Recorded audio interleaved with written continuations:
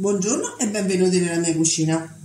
Avete presente l'ultimo broccolo romanesco del nostro orto? Eccolo qui, ve lo presento. E allora mio figlio l'altra sera mi ha dato un'idea meravigliosa. Mi ha detto, mamma, scusami, con questo broccolo che fai tu al forno con la besciamella e il parmigiano, perché non ci fai un bel timballo di pasta? E a questo punto io ovviamente do retta a mio figlio perché mio figlio è il cracco della situazione. Palato finissimo. Però voi intanto iscrivetevi al nostro canale, mettete un bel like a questa ricetta e per favore condividetela con i vostri amici. Grazie. Allora, come primo step vi dico gli ingredienti, poi cominciamo a fare l'operazione in sé. Allora, qui abbiamo circa 500 g di besciamella, 150 g di parmigiano reggiano, se volete anche il grana va benissimo, 4 sottilette, una confezione di pasta sfoglia già pronta, così è molto più veloce, da 500 g, della noce moscata, potete anche non metterla, a noi piace molto quindi la metteremo, e un broccolo romanesco di circa un chilo e mezzo, ok? Ma se non vi piace il romanesco potete usare anche il cavolfiore dicevo come primo step andiamo a eh, tagliare a pezzetti non piccoli eh, il nostro broccolo e ovviamente a lavarlo e disinfettarlo perché comunque nell'orto anche se noi non mettiamo assolutamente nessun tipo di eh, concime o disinfettante o insetticida o quello che sia è comunque sporco di terra e magari c'è qualche insettino. Quindi io lo andrò a mettere a bagno in acqua, sale e bicarbonato ci vediamo dopo. Belli fumanti, eccoli qua, sono pronti. Allora noi adesso che cosa facciamo? Li prendiamo, li mettiamo nella teglia. Scusate, sposto gli ingredienti, ecco qua. Così, io ho messo un foglio di carta da forno perché è molto più semplice poi pulirla. Questa teglia ci tengo tantissimo perché sono quelle usa e getta, ma talmente, è talmente rigida e mi piace anche tenerla e lavarla spesso allora li sistemiamo bene e adesso mettiamo besciamella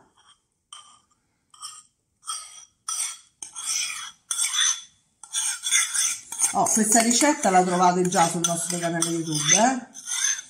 quindi però mi sembra che l'abbiamo fatta col cavolfiore. È buonissimo poi le sottilette. Ragazzi nel frattempo mi scrivete nei commenti la città da dove ci state guardando? Perché ho scoperto che ci guardate veramente da tutto il mondo. Che bello. Bellissimo le ricette di mia nonna e non viste in tutto il mondo. Che spettacolo. Adesso le sottilette. Sì. Tutte e quattro se volete metterne di più va liberissimi eh. Non vi dico un altro tipo di formaggio. T'ho bloccato subito perché tu quello mi volevi chiedere vero? Perché questo è cremoso si squaglia e quindi un pochino di noce moscata ripeto potete non metterla se non vi piace ma a noi piace molto e quindi ce la mettiamo. Voilà. E parmigiano come se piovesse la metà, l'altra la teniamo per la lasagna. In forno a 190 gradi per circa 25 minuti, statico. Eccolo pronto. A questo punto cosa facciamo? Prendiamo una forchetta e andiamo a schiacciare il tutto. Questa già sarebbe una ricetta, eh? Sì, sì. Andiamo a schiacciare in questo modo. Una volta schiacciato tutto, poi andremo a preparare la nostra lasagna. A tra poco. Allora, iniziamo. Come si fa per tutte le lasagne tradizionali? Un po' di condimento alla base, se no verrebbe secca la prima parte, no? Giusto? Così poi mettiamo i fogli di lasagna potete anche farle in casa eh? però quelle le dovete sbollentare prima questa invece è molto più semplice molto più pratica ed è pronta parmigiano per ultimo? sì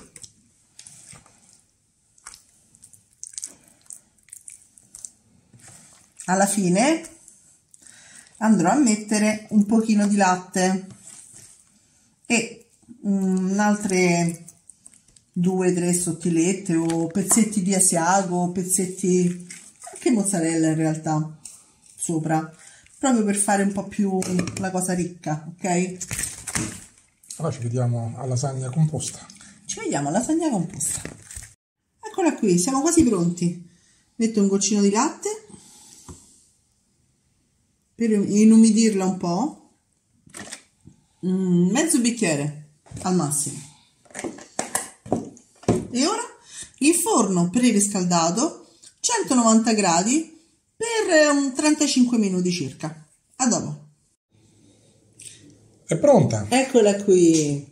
Bella croccante sopra, esattamente come piace a noi.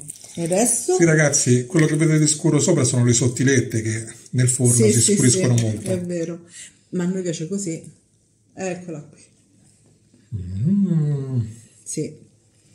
E poi, ecco, voglio dire, si fa in poco tempo ed è vegetariana anche. Ed è due ricette in una, eh, perché esatto. con e senza lasagna. È vero. Ci vediamo.